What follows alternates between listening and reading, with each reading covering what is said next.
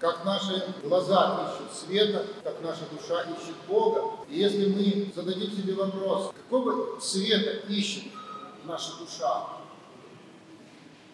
Я есть свет миру, сказал Христос.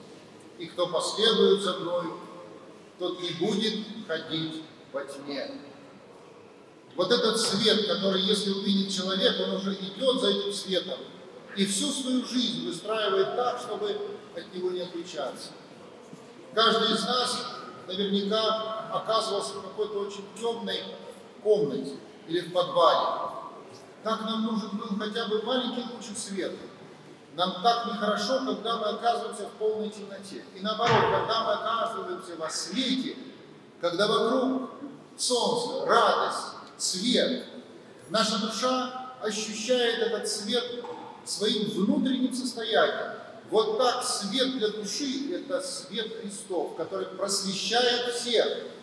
И сегодня, когда мы слышали, Иисус Христос отправляется в Галилею языческую, чтобы и там людям, сидящим во тьме, посиял свет, чтобы те, которые находились в стране идеи смертной, увидев этот свет, воскликнули нам, свет воссиял.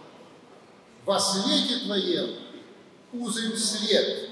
И не случайно в Божественном Откровении мы читаем эти слова. Вы свет миру. Обращается Христос к своим последователям. И наоборот, те, которые уйдут от этого света, они неминуемо погружаются во тьму. Да и каждый из нас наверняка на себе знает, что стоит ниже, ниже погружаться в подвальную комнату, как света становится все меньше, больше тьмы. Что такое тьма? Это отсутствие света. Что такое безверие, злоба, агрессия? Это отсутствие света в душе человека. Вот почему, чем больше света в человеческом сердце, тем он радостный, тем он не безнадежен, тем он, уповая на Господа, преодолевает все трудности на своем жизненном пути. Вот почему Христос и начинает свою проповедь с этих слов. И уже тогда Он начинает говорить и обращаться к этим людям, которые впервые увидели этот свет, увидели Христа. Покайтесь, ибо приблизилось Царствие Божие. Сколько людей, услышав этот призыв, поисповедали грехи свои которые возненавидели всю свою прошлую греховную жизнь и последовали за этим светом, и просветились этим светом, и стали потихонечку читать молитвы, изучать, что творится в храме и каково глубочайшее содержание богослужений в церкви. И так потихоньку, понемножечку, понемножечку осваивали эту глубину, красоту веры православной. Почему, когда дочитавшись до символа веры, где мы с вами уже читаем света от света, Бога истина от Бога истина. Это о ком? Это о Христе, рожденном от источника света, будучи светом, просвещающим весь мир. Свет в откровении языков и славу людей твоих, Израиль. И не только Израиль Христос просветил светом своего божественного, премудрого просвещения, но и всю Вселенную. Почему все те, кто уверовали в Него, это были светлые люди, люди, которые несли свет миру, о чем и призывает Христос, последователи, вы свет. Но люди возлюбили тьму, об этом мы тоже в Святом Писании. И люди, которые отворачиваются от света, погружаясь во тьму, неверие прежде всего, в страну смерти, потому что тьма – это также по учению святых отцов, это место смерти. Вот люди, погружаясь от света истины во тьму неверия, превращаются в злобных, в агрессивных, в людей, которые готовы все сносить на своем пути. И вот сегодня мы не обойдем этот вопрос стороной. Мне вспоминается замечательная историческая повесть Александра Сергеевича Пушкина «Капитанская дочка». Там устами своего героя Пушкин произносит удивительные, особенно актуальные для современного времени и дня слова. Не дай нам Бог увидеть русский бунт, бессмысленный и бесполезный. дай нам Бог увидеть бунт людей, которые отошли от света. Для этих людей полная тьма, и они ничего не видят, только свое до основания, разрушая а затем. И сегодня мне хотелось бы обратиться к одной замечательной книге, которую написал владыка Митрофан, епископ Бадани.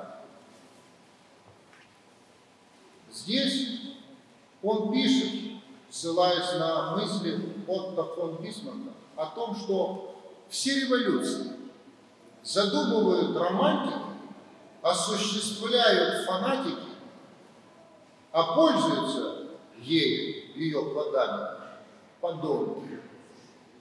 И мы с вами сегодня вокруг ощущаем это дыхание революционного движения. Сто лет едва минуло, как уже снова люди хотят свержения государственной власти, которые выходят на улицу для того, чтобы выразить свое несогласие и что за этим стоит. Мы видели, что стоит за этим буквально вчерашних новостей. Я не могу сегодня не вспомнить еще одну трагическую дату начала репрессирования казачества. И не могу не привести декрет от 24 числа января месяца 1919 года. После того, когда все свергли, вы же помните, что началось, голод, разруха, коллективизация, красный террор, хождение по улицам воинствующих безбожников, человек, который потерял свет и погрузился во тьму, ему Христос не нужен. Запомните, при любой революционной ситуации свет Христов не нужен людям, которые добиваются и переворачивают все с, с ног на голову. Я не могу не остановиться на одном из современников того периода Александра Александровича, тезки моего, Блока, который писал красиво, писал интересно, а потом вот этот вихрь революции захлестнул очень многие, дорогие братья и сестры, это сатанинская воронка, которая вращением своим включает в себя многих. Он бы и не пошел, если бы не пошли все. А если пошли, пошел и он, и стал служить революции. И послушайте его строки. Товарищ, ментовку держи, не трусь, пальнем, как пулей, в святую Русь. Вы можете себе представить, что в голове у человека а что в сердце человека, который пишет такие слова, поймем, как пули, в святую Русь. Все, Христос не нужен. Человек погружается во тьму, и тьма, которая постоянно собирает своих рабов, своих служителей, она объединяет их в одну работу против Бога, против всего чина установленного в государстве, в церкви, в обществе. Никто не может служить двум господам, сказал Христос, ибо или одному будет ненавидеть, а другого любить, или одному станет усердствовать, а другому не родить. Ты не можешь любить и свет, и тьму, понимаешь, человек? Либо ты выбираешь свет, и я христианин, иду к свету, и готов умереть за веру христианскую, либо ты не христианин, не надо обманывать ни себя, ни людей, ни Бога. Не надо носить крестик, говорить, да я вхожу по воскресеньям в церковь. А на буднях или там по субботам я выхожу на Майдан. Либо ты христианин, либо ты безбожный. Ну, пока так себе, как все. А потом уже будешь воинствующим. Потому что та воронка закрутит и тебя так, что ты не выкрутишься оттуда, сил не хватит. Поэтому не можете работать двум, и свету, и тьме работать нельзя. Работайте Господи со страхом. И радуйтесь Ему с трепетом, говорит нам Священное Писание.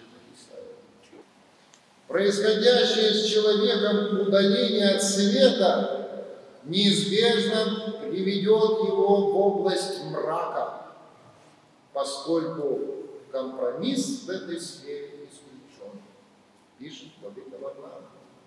Какое согласие между Христом и Велиаром? Какая совместность храма Божия с идолами? И вот чем хочу закончить сегодняшнюю цитату этой замечательной книжке. Любая революция, пишет Владыка, это восстание не только против установленного Богом порядка, но именно восстание против Бога. Это противодействие той высшей силе добра, справедливости, любви, которая раздражает, мешает такому человеку, противостоит его движению вниз по пути крайней степени озлобления и сатанинской гордыни. Это безумная попытка заглушить тот удивительный камертон, который заложен в каждом человеке от самого его сотворения, против внутреннего нравственного закона, живущего в нем, против человеческой совести. В завершении, конечно, хотелось бы сказать тем людям, которые видят свет, которые идут к свету, как вы, которые приходят в храм, которые любят Бога, которые сегодня причащались, вас поздравляю, человек, который сегодня причастился, его не так просто совратить в какие-то другие безбожные, особенно агрессивные революционные движения. Христианин не революционер, он идет по пути, который указал ему Христос. Я есть путь и истина и в жизни. Идите моей дорогой, и вы никогда не будете ходить во тьме. Вы свет миру. Слышите? И я вот хочу напомнить просто вам эти слова. Это уже нам. Это не те, которые перевернули всю нашу страну, которые буквально уничтожили тысячи тысяч казаков, священников, которые вместе с ним ставили в один ряд. И мы с вами помним эту историю. Сжигали иконы, взрывали храм, расстреливали епископов, не соловки, о чем говорят нам. Кто не был на соловках, тот, наверное, вчера был на улице. А вот ты бы был на соловках и посмотрел, во что это превратилось, ты бы не пошел. И детям своим объясните, и внукам своим заповедуй, что мы уже проходили это, мы живем в стране невыученных уроков. И опять, и опять повторяем то, что уже у нас было.